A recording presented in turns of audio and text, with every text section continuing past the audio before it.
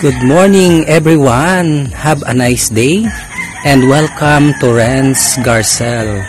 Isang mapagpalang araw po sa ating lahat and happy Sunday and happy feast day to Christ the King.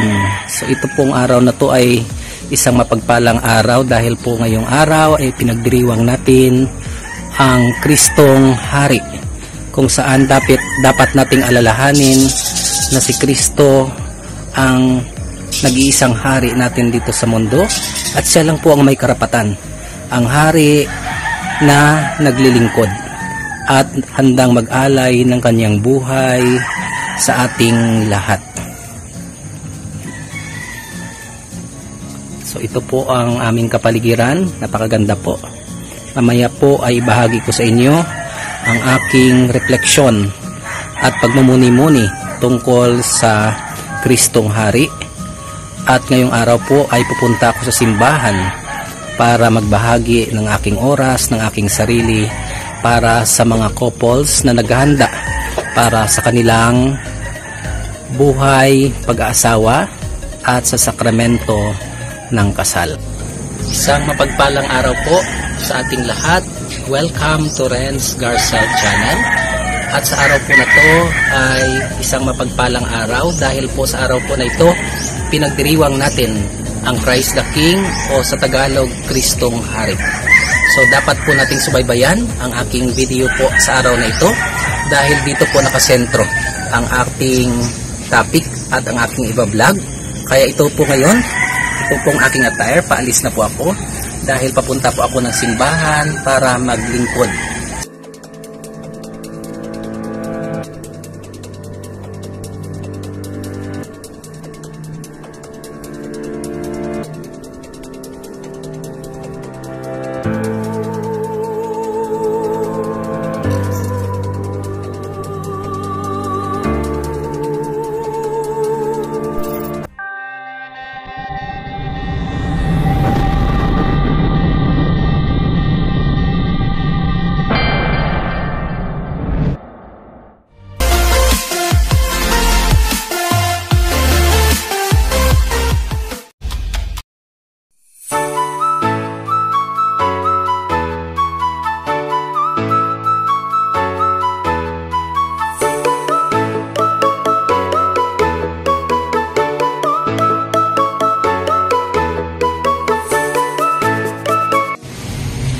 morning po. Bago ako paalis sa aming bahay ay katampay kaunti lang dito sa kubo. Tingin-tingin ng mga bulaklak at mga tanim para pamparelax po, pampatanggal ng mga stress at para makapag-focus sa aking gagawin ngayong araw po. So, nakaka-relax po pag maraming tanim sa paligid po natin. So, ito po yung paligid po namin. Ito po yung kubo kung saan palagi po kami tumatambay. Ito yung aming mga kalamanan. So, samahan niyo po ako sandali habang nagre-relax para makapag-focus at concentrate sa aking talk mamaya po. So, samahan niyo po kayo. Hali kayo.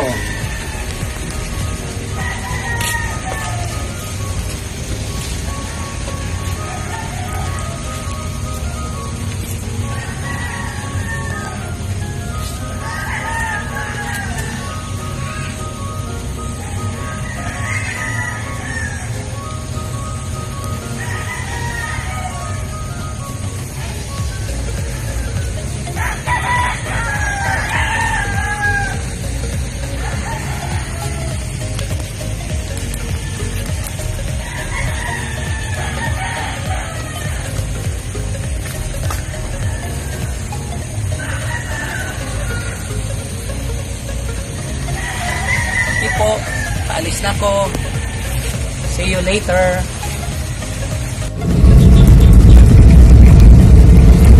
Yan po, sa biyahe na po tayo palabas. Papunta po ng highway. Ito po ngayon ay sa loob pa lang na, ng aming lugar.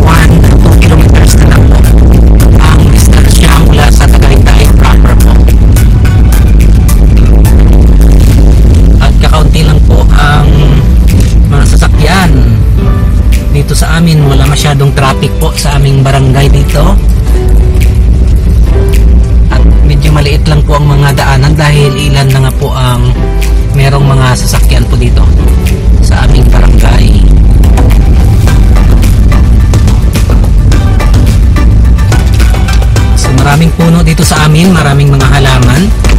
Kaya kahit ikaw po ay nagbabiyahe, ay nakaka-relax manood mga kapaligiran hindi nakaka-stress tulad po minsan sa syudad o Metro Manila ay parang napaka-busy ng tao at napakaraming sasa- sasakyan na parang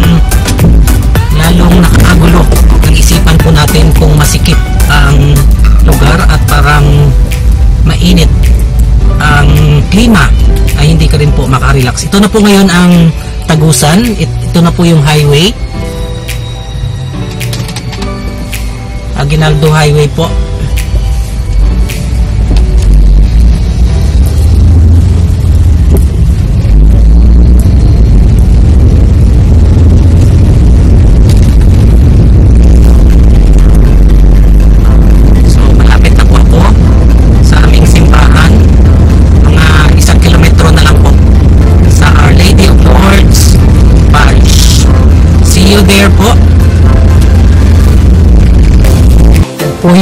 Volcano na madadaanan ko po at nakikita sa aking view.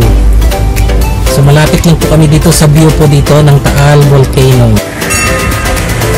Ito na po sa simbahan, mayroong prosesyon dahil ngayong araw po ay kapistahan ni Christ the King. Yan po yung parish priest namin. Iniikot po niya sa buong parokya ang monstrance na nilalaman ang Sacred Rose. Po yung aming simbahan. Nandito na po ako ngayon sa aming simbahan.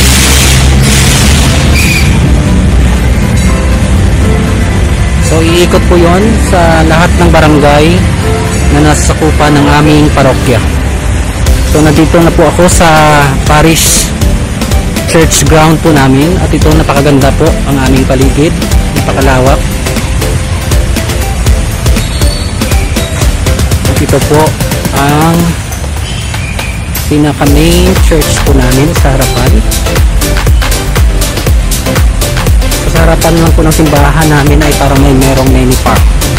At ito po yung pinakaharapan ng aming simbahan na merong estatwa ng Our Lady of Lords na napakalaki po.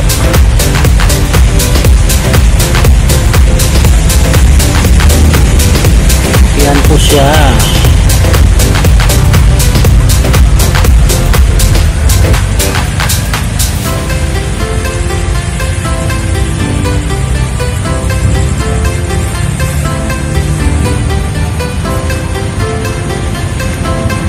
Ito po ang mini park ng aming simbahan. Pwede rin po dito gawing venue ng ating mga events or especially yung wedding. Ginagawa po itong reception area.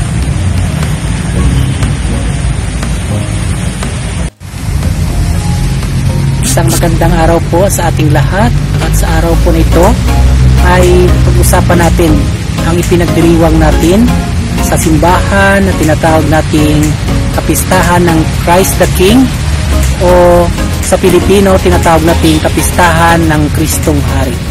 Ito ay isang magandang pagdiriwang dahil ang linggong ito po ay hudyat ng huling linggo ng pang kasalukuyang sitwasyon sa kalendar ng simbahan na tinatawag natin na ordinary time.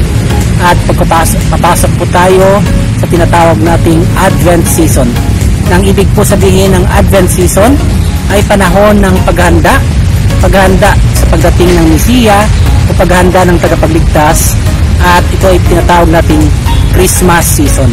So ang Advent season ay magsisimula sa sunod na linggo na ito ay sisindihan natin ang unang kandila na maghuhudyat na tayo ay naghahanda na ng ating mga sarili bilang mga tunay na Kristiyano. Sa pagdiriwang ng Kristong Hari, dito ay pagmunimunihan natin ang kalagahan ni Kristo sa ating buhay bilang hari. Bilang hari na naglilingkod, hari na nagsasakripisyo, at hari na nagliligtas sa ating lahat. Ito dapat po ang basihan ng ating buhay na sa buhay po natin ang binibigyan po natin pansin ay paglilingkod sa isa't isa. Hindi po yung kayo yung pinaglilingkuran.